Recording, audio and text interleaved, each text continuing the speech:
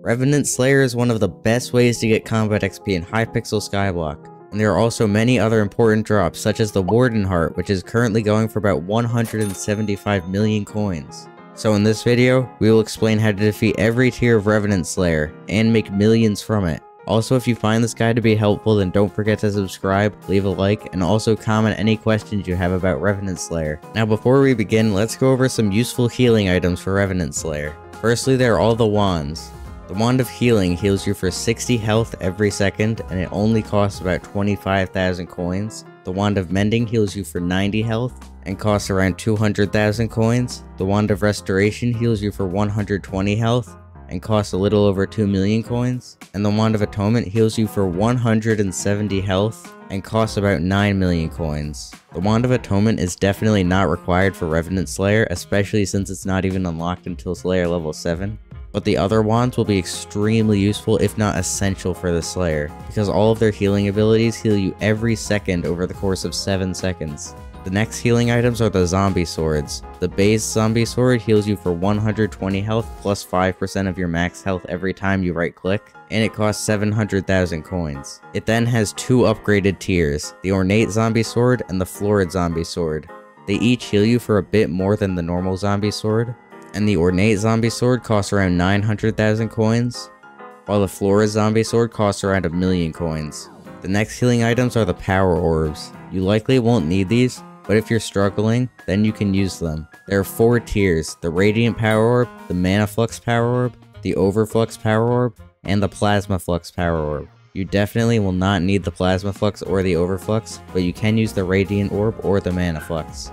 The Radiant Power Orb heals you for 1% of your max health every second, and costs 70,000 coins, while the Mana Flux Power Orb heals you for 2% of your max health, gives you 10 strength, and gives you 50% more base mana regeneration, and it costs 3.5 million coins. The final helpful item will be a God Potion. It gives you most of the best potion effects including strength, critical, and many other effects for 2 million coins. To spawn the Revenant Slayer bosses, you have to talk to Maddox, Maddox is found over here in the basement of the tavern, but you can also use the Maddox Bat Phone, which is unlocked at Wolf Slayer level 3.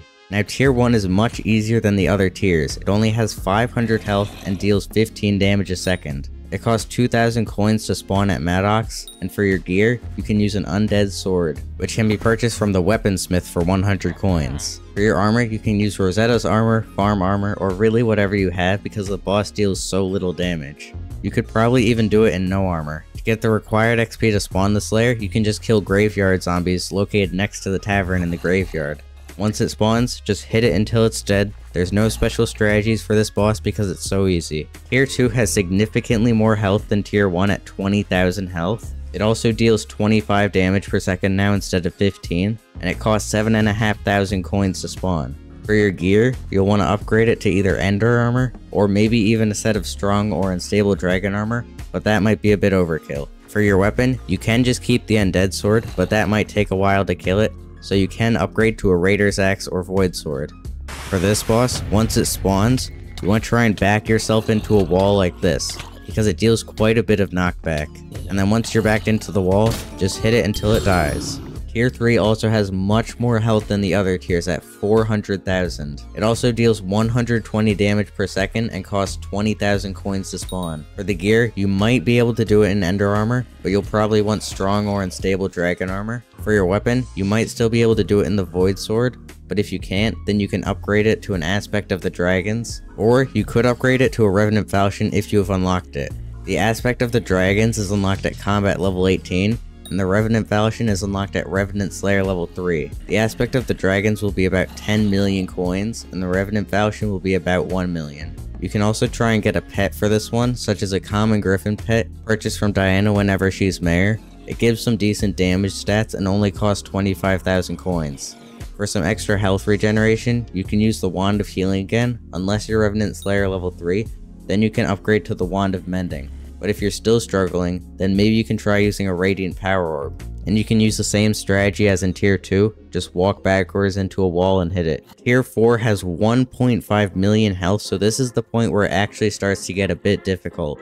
Its damage per second is 400 and it costs 50,000 coins to spawn it. For your armor, You should still be able to do it in strong or unstable dragon armor, but if you can't, then you can either upgrade to superior dragon armor or shadow assassin armor with a tarantula helmet. The shadow assassin armor is around 20 million coins and the superior dragon is around 30 million but the Shadow Assassin armor requires 4 or 5 completion. For your weapon, you can either keep your aspect of the dragons from tier 3, or you could upgrade to either a Livid Dagger or a Reaper Falchion if you've unlocked it.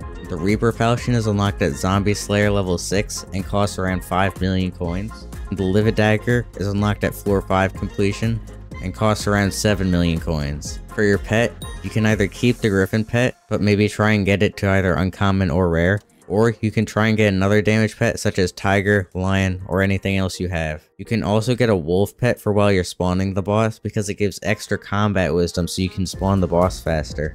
To get the wolf pet, it's crafted in Sprucewood collection, or you can buy it off the auction house for around 5 million coins for a level 1 legendary. Also at this point, you should be trying to have at least 150 to 200 magical power, but also make sure you have a good power stone. For some extra healing items, you can either use a radiant power orb or if you have the Wolf Slayer, you can use a Mana Flux. You can also use either an Ornate or Florid Zombie Sword, and you should still be using the same strategy as in Tier 2 and 3 where you back into a wall, so that the knockback is not affecting you.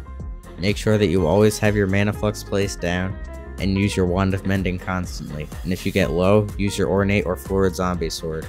And now, I'm to try and do it on my Iron Man profile, with around 150 magical power, using my Aspect of the Dragons, and I'll be using 2 fourths unstable, 2 fourths ender armor, and my enderman pet. And also, another thing that I found about tier 4s, and probably zombie slayer in general, is that if you stand under these iron bars, then he's going to be dealing even less knockback to you.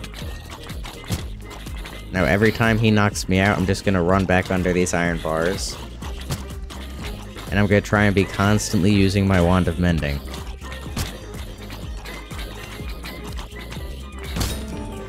And there we go. I did get a bit low at the end, but if you guys are dying, then you can always upgrade your armor or weapon. Tier 5 will be very difficult if you aren't already mid to late game, but it's still doable. It has 10 million health and deals 2400 damage per second. The boss fight is also completely different from the other 4 tiers. It has a few new abilities, including one called Redemption, where if you don't hit him for long enough, he'll rapidly regen his health. He will also be constantly throwing TNT, which deals insane amounts of damage. And finally, he has another ability called Thermonuclear, where he can charge up for a few seconds, and then release large amounts of lightning, which will probably one-shot you. You can still use the Livid Dagger, or if you can't kill it with that, then maybe upgrade to something like a Shadow Fury, which costs around 50 million coins, so that's a bit on the expensive side. Or you can keep using the Revenant Falchion. For your armor, I recommend you use Crimson, or you could use Necron armor with a Tarantula helmet. You can also try and get some extra Molten equipment for some extra health, defense, and strength. For your pet, you can use a Tiger, Griffin, or any other decent damaging pet. And also, don't forget to have a good magical power. A few hundred should be enough as long as you have a good power stone such as Bloody or Itchy. For some healing items, make sure you have a Mana Flux, Florid Zombie Sword, and either a Wand of Mending or preferably a Wand of Restoration. There are a couple different strategies to easily kill the tier 5 boss, but the easiest one will be standing in front of these iron bars. If you stand right here on one of these two blocks, then he'll stop throwing his TNT and you won't be taking very much damage. So just stay here and try and move as little as possible, because if you move to one of these blocks, then he'll start throwing his TNT again. So to negate some of the knockback, you can try and get a Dwarf Turtle Shelmet. He still does have some attacks that will bypass the Dwarf Turtle Shelmet's ability, but it will help some. The other strategy is to stand in the biggest room, which is found by going right, which is also where the spot for tier 4s are. Once you're in here, go into F5, and then crouch and slowly walk backwards. Try not to let him hit you as you crouch and walk backwards, and definitely don't let the TNT hit you. If he enters one of his lightning phases, then you can rush in, attack him as much as you can, and then make sure you run out before it strikes or else you'll probably die instantly. Now let's look at an example boss fight using each strategy. I do have an Axe of the Shredded, but I'll be using this pretty bad Livid Dagger instead. I do have 3 fourths Necron armor, which is pretty good, but I also have this pretty bad Tarantula helmet. And to compensate for using the good Necron armor, I'll only be using a Wand of Atonement, no Florid Zombie Sword or Mana Flux. make sure you spawn it down in this area because you don't want to have to be leading it all the way down here. So the second he spawns, run into these bars. See, I stepped out for a second so he threw TNT. You can also try backing into this corner here. Now just hit him as fast as possible. Make sure to use a Wand of Restoration or Atonement if you get low. And there we go.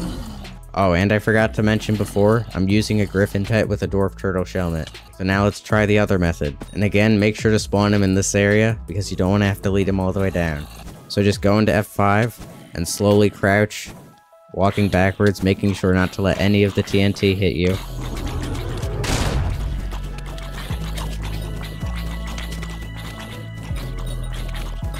And there we go. If you have any other questions about Revenant Slayer, don't forget to comment them down below. Bye.